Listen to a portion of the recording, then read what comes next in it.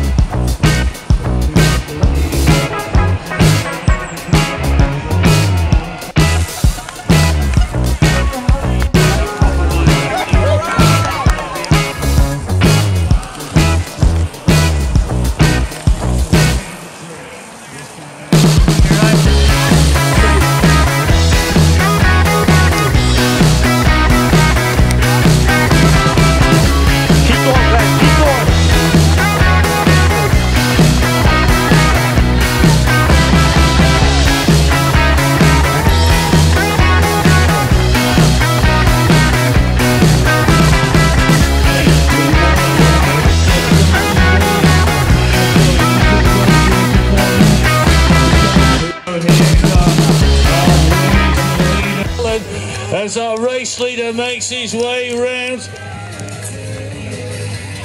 So here he is, he's going to take this left-hand turn. Roddy Kinning Cycles, your race feature here in the final round of Kidding Super Great Series. It is Glenn Kinning who takes a race of victory here in the final round round number five.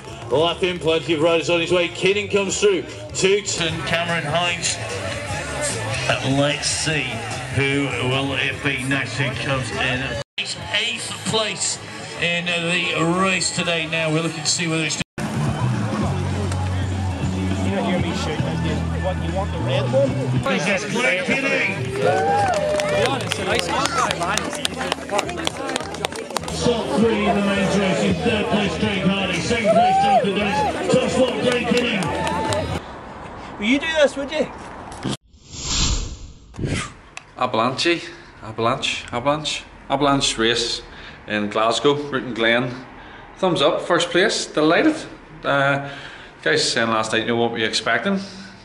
Top 10 would have been fantastic as the rest of the season. And then first lap, just sort of clawed my way up to first as it wasn't gridded ish.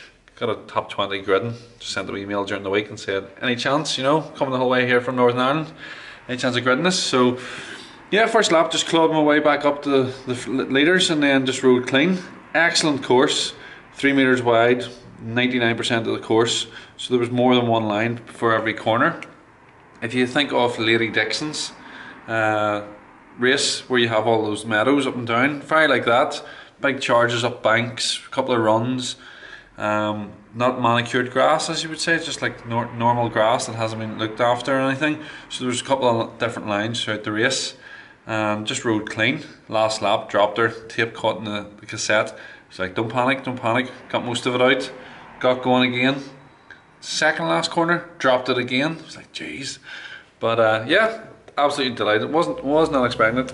Delighted to finish the season, and uh, big thanks to the, the pit crew, Jim Adams, Murray Young, and my cameraman, media man for the day was Thomas. So yeah, absolutely fantastic uh, weekend. So it worked out. It was only seventy mile drive from the boat, so it was far closer than Cork.